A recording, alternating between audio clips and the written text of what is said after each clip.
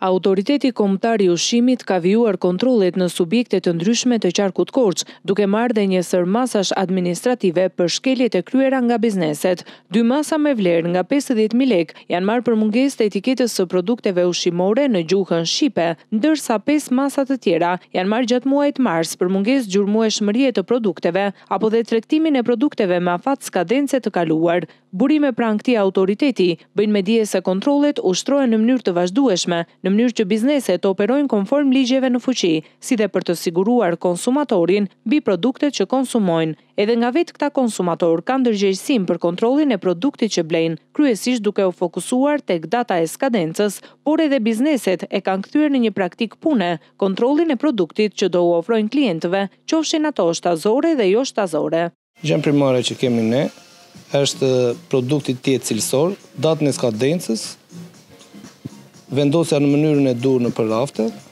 për mbarëvajtjen e produktit që të jetë i vendosur në frigorifer, ngrirës, freskues, sipas produktit që është, që në klienti të shkojë sa më i saktë produkti. Ne bëjmë kontrolle periodike me stafin tonë në mënyrë të vazhdueshme, që të mos kemi probleme. Jemi munduar që të jemi sa më të kujdesshëm me produktet, sepse kemi kontrollet tona, siç e thamë të herëpashershme dhe kontrolle të vazhdueshme nga AKU-ja, por kjo është një pjesë e punës tonë dhe jemi detyruar që t'i përshtatemi punës dhe klientit t'i shkojë çdo gjë siç duhet.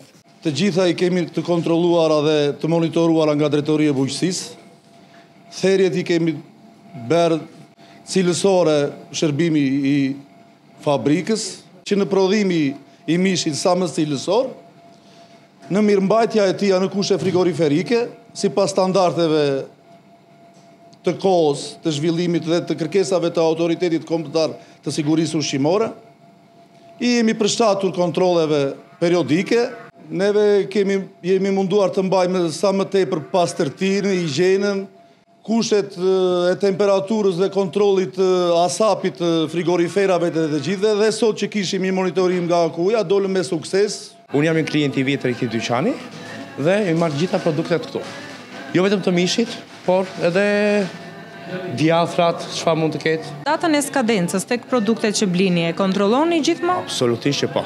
Sa i takon etiketimit të një produkti, një vendim i ri hyri në fuqi prej nëntëmbëdhjetë korrikut të vitit dy mijë e njëzet, për etiketimin e ushqimeve dhe informimin e konsumatorit, ku parashikohet që në një etiketë duhet të deklarohet edhe pesha neto, vlerat ushqimore, data e skadencës dhe një sërë elementësh të tjerë, në mënyrë që konsumatori të ngelet i informuar mbi përmbajtjen e një produkti të caktuar, ndërsa shmanget njëkohësisht edhe blerja e produkteve të falsifikuara.